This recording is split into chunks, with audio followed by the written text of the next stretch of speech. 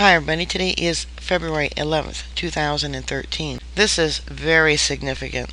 The Pope's sudden resignation sends shockwaves through the church. Interestingly, today is the start of the Chinese New Year, the year of the black water snake, prophecy being fulfilled. So many prophecies spoke about this and about what's to come, and it's not good. The end of days, tribulation, are upon us. Pope Benedict stunned the Roman Catholic Church, including his closest advisers, on Monday when he announced he would stand down in the first papal abdication in 700 years, saying he no longer had the mental and physical strength to run the church through a period of major crisis. Major crisis. What's coming? Okay, we got a comet that's going to be passing by on the 15th. We have someone in the stock market making 11 million plus dollar bet that something major will happen within 60 days. We have major countries on the verge of nuclear war, and when that happens, Satan himself will show up claiming to be Jesus to save the world preaching peace. Church officials tried to relay a climate of calm confidence in the running of a 2,000 year old institution, but the decision could lead to one of the most uncertain and unstable periods in century for a church besieged by scandal and defections. This has been going on for a long time within the church, so I don't buy scandals and defections the reason for his stepping down. I don't buy the fact of his health the reason for him stepping down. He just recently was there in the Middle East. You know, what was it, Jerusalem he went to? Several popes in the past, including Benedict's predecessor John Paul, refrained from stepping down even when severely ill precisely because of the confusion and division that could be caused by having an ex pope and a reigning pope living at the same time. This could create a particular difficult problem if the next pope is a progressive who influences such teaching as the ban on women priests and artificial birth control and is, and is insistent on celibate priesthood. The church has been rocked by Benedict's nearly eight year papacy by child sex abuse crisis and Muslim anger after the Pope compared Islam to violence. Jews were upset over rehabilitation of a Holocaust denier, and there was scandal over the leaking of the Pope's private papers by his personal butler. In an announcement read to cardinals in Latin, the universal language of the Church, the 85 year old said, Well aware of the seriousness of this act, with full freedom I declare that I renounce the ministry of Bishop of Rome, successor of St. Peter. As from the 28th February 2013 at 2000 hours, 1900 hours GMT time, the See of Rome, the See of St. Peter, will be vacant, and a conclave to elect a new Supreme Pontiff will have to be convoked by those whose confidence it is. At a news conference, Chief Vatican spokesman Father Federico Lombardi said the Pope did not fear a possible schism in the Church with Catholics owing allegiance to a past and present Pope in cases of difference on church teachings. The Pope, known for his conservative doctrine, stepped up the Church's opposition to gay marriage, underscored the Church's resistance to a female priesthood, and to embryonic stem cell research. But Lombardi said that Benedict, who is expected to go into isolation for at least a while after his resignation, did not intend to influence the decision of the cardinals who will enter a secret conclave to elect a successor.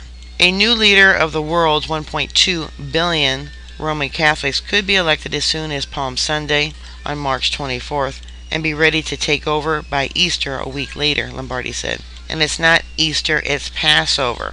Easter is a pagan name, so why is this priest using the word Easter? It's not Easter, it's Passover.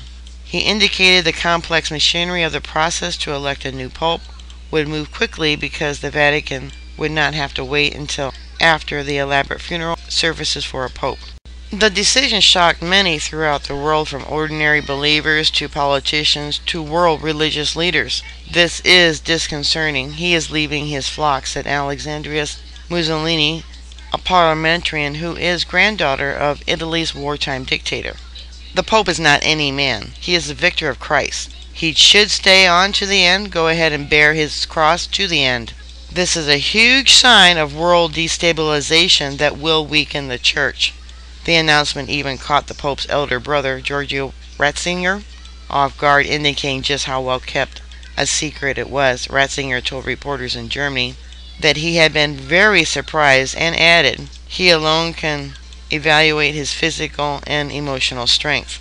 Lombardi said that Benedict would first go into the papal summer residence south of Rome and then move into a closure convent inside the Vatican walls. It was not clear if Benedict would have a public life after he resigns. The last pope to resign willingly was Celestine V in 1294 after reigning for only five months. His resignation was known as the Great Refusal and was condemned by the poet Dante in the Divine Comedy. Gregory XII reluctantly abdicated in 1415 to end a dispute with a rival claimant to the papacy. Lombardi said that Benedict stepping aside showed great courage. He ruled out any specific illness or depression and said the decision was made in the last few months without outside pressure. Joseph Curran, professor of the religious studies at Misericordia University in Dallas, Pennsylvania, said the modern medicine prolonging the life of people has posed difficulties for institutions whose leaders usually rule for life. His resignation is a tremendous act of humility and generosity, he said. I think it's misprinted here. A man who gives up a position of authority because he can no longer adequately exercise that authority and does so for the good of the church is setting a wonderful example, he said. But Cardinal Stanislaw Dziwisz, secretary of the late Pope John Paul, who suffered through bad health for the last decade of his life, had a thinly veiled criticism of Benedict. John Paul stayed to the end of his life as he believed you cannot come down from the cross, Dziwisz told reporters in Poland. While the Pope has slowed down recently, he started using a cane and a wheeled platform to take him up the long aisle of St. Peter's Square. He had given no hint recently that he was mulling such a dramatic decision. Elected in 2005 to succeed the enormously popular John Paul, Benedict never appeared to feel comfortable in a job he said he never wanted. He had wished to retire to his native Germany to pursue his theological writings, something which he will now do from a convent inside the Vatican. The resignation means that cardinals from around the world will begin arriving in Rome in March, and after preliminary meetings, lock themselves in a secret conclave and elect a new pope from among themselves in votes in the Sistine Chapel. There has been growing pressure on the Church for the cardinals to shun European contenders and choose a pope from the developing world in order to better reflect parts of the globe where most Catholics live and where the Church is growing. John Paul was only 58 when he was elected in 1978, 20 years younger than Benedict when he was elected. And some commentators said the resignation would likely convince the cardinals to elect a younger man. In his announcement, the Pope told the cardinals that in order to govern, both strength of mind and body are necessary, strength which in the last few months has deteriorated in me to the extent that I have had to recognize my incapacity to adequately fulfill the ministry entrusted to me. But you know, he leaves out spirit, the soul, the spirit. He doesn't mention that, and I think that's important. Before he was elected Pope, the former Cardinal Joseph Ratzinger was also known by such critical epithets as God's Rottweiler because of his stern stand on theological issues. After a few months, he showed his mild side, but he never drew the kind of adulation that had marked the 27 year papacy of his predecessor, John Paul. The Archbishop of Canterbury, leader of the worldwide Anglican Communion, at odds with the Vatican over women priests, said he had learned of the Pope's decision with a heavy heart, but complete understanding. German Chancellor Angela Merkel said the Pope's decision must be respected if he feels he is too weak to carry out his duties. British Prime Minister David Cameron said he will be missed as a spiritual leader to millions. So I'll give you a link if you want to read more, but like I said, he talks about his health, but not his spirit says he does not have the mental and physical strength to run the church through a period of major crisis. Just shows you, I think he knows and is withholding information from the world so as not to create a crisis of bad things to come that he doesn't even have the ability to handle. Now, isn't that a scary thought?